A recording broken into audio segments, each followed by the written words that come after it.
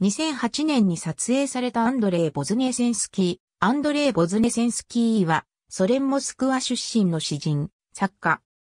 文学活動は1958年以降からで、エフゲニー・エフトゥシェンコ、ブラート・オクジャワ、ベーラ・アフマドゥーリナ、ロベルト・ロジェストベンスキーと並んで、雪解け時代を代表する詩人である。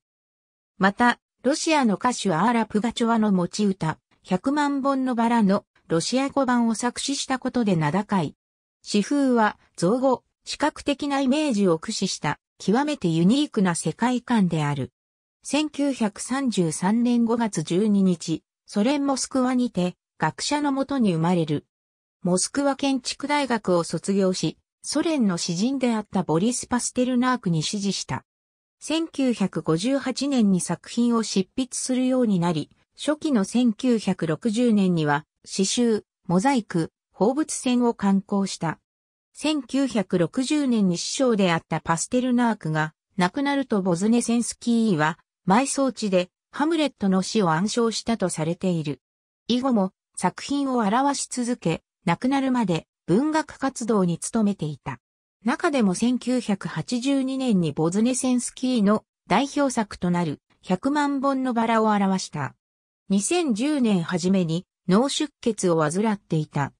2010年6月1日、モスクワで亡くなる。イギリス出身で20世紀最大の詩人と称される WHO 伝は、ボズネセンスキーを死というものが言葉による工芸品であり、テーブルやオートバイと同様に熟練した腕でしっかりと組み立てられねばならないことを知っている詩人と評した。1960年から詩壇に登場した。ABA ボズネセンスキー詩司教ロシアの著名詩人47ニュース2012年11月14日閲覧。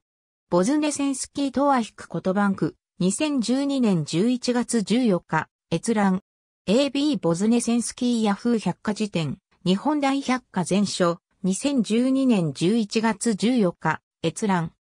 パステルナーク、ボリス、パステルナーク、セレクテッドポエムズ、トランスクリプション、ジョン・スタウルワースピーター・フランス、ペンギン、ISBN 0から14から042245から5、100万本のバラ、作詞ボズネセンスキー三死去から、朝日新聞デジタル、2012年11月14日、閲覧。ロシアの詩人アンドレイ・ボズネセンスキー氏が死去日本、経済新聞、2012年11月14日、閲覧。